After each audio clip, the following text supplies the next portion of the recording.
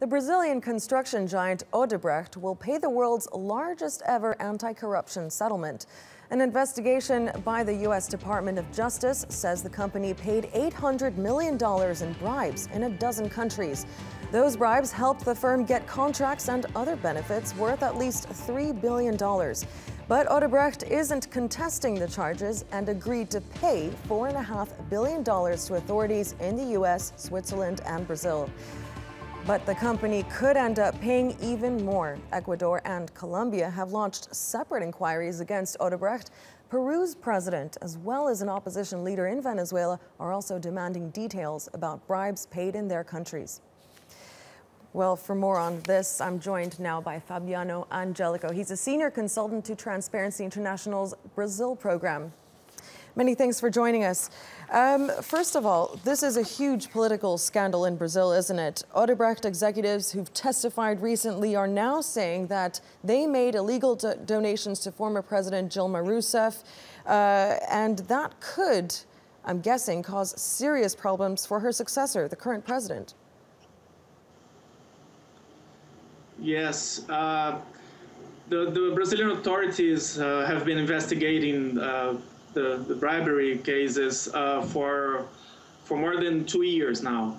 And uh, yes, we've we've been living this uh, political crisis since then, and uh, it may have impact here in, in domestic politics. Once the current uh, president is the vice president who was elected uh, together with the former president Dilma Rousseff. Will this scandal be the scandal to oust him from power? Do you think? Pardon? Will this scandal potentially oust Temer from power? Uh, yes, there is there is a, a huge risk because it's not only him uh, that um, may be involved, but uh, most of his close allies and the, his political party, and uh, perhaps dozens of congressmen uh, who are uh, who are his allies in Congress also. So it may bring a huge impact uh, in my country, yes. Now, how far will this Odebrecht scandal go, do you think, in actually putting an end to Brazil's widespread corruption problems? Are you seeing any real changes so far, if, if, if at all?